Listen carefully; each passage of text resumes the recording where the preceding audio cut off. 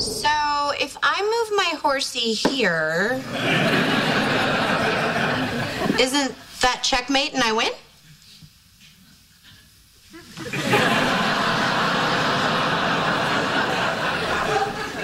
Hmm. Well, is it or isn't it? You know, I think this is a good stopping point. Uh, it's your first real game. I threw a lot of information at you. No, uh, your king is trapped. He can't go here because of my lighthouse. And he can't go here because of my pointy head guy.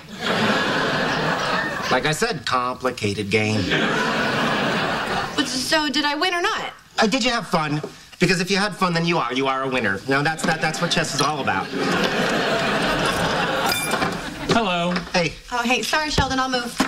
Why? My spot, your spot? What difference does it make?